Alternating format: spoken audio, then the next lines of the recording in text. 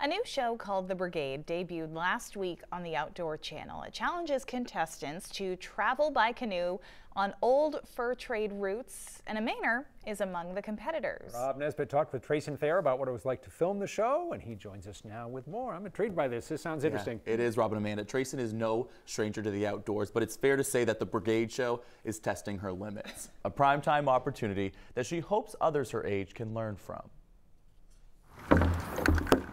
It's when she's out in the elements that Tracyn Thayer is in her element. Waves under her, trees surrounding her, and the breeze of spring blowing in her face. Tracyn has spent years taking part in multi-day races requiring things like mountain biking, hiking, canoeing.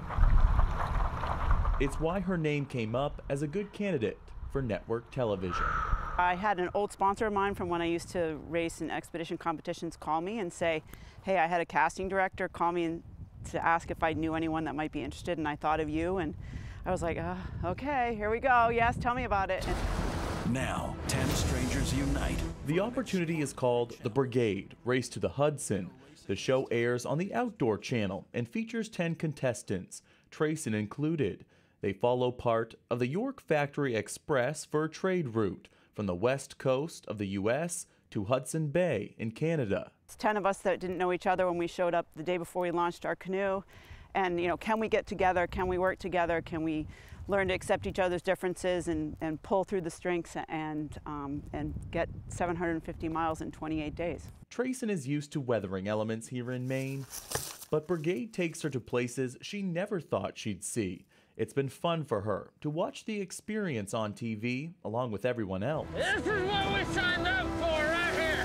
Of the 10 contestants, Tracyn is the oldest woman and the second oldest overall. Get that rope! Get it now! This is dangerous! At 50 years of age, it's what she hopes will resonate with fans and encourage them to test their limits the same way she did for a month in the wilderness. I could set a good example, hopefully for other women my age, that you know you can always seek an adventure. It doesn't have to be a brigade. You can have a smaller scale brigade, but hopefully inspire people to always seek out something that's challenging. It's what Tracyn has done her entire life. Paddleboarding, canoeing, kayaking, hiking, and rock climbing around her Mason Township home. Now you get to watch her try some of those things joining the brigade in hopes she makes it to the very end. Half a million dollars on the line. Any contestants who make it to the end of the trade route will split the $500,000 prize. The Brigade Race to the Hudson airs Monday nights at 8 on the Outdoor Channel. Robin Amanda for anyone who wants to watch and cheer on a Mainer. Did you happen to talk about what she'd do if she won some money on the show? She did not tell me what she would do. so I feel as though, you know, she's already shot it, so she knows yeah. whether or not she made it to the yeah. end or not. So she didn't give me any spoilers or any sort of hints as to what might happen at the end.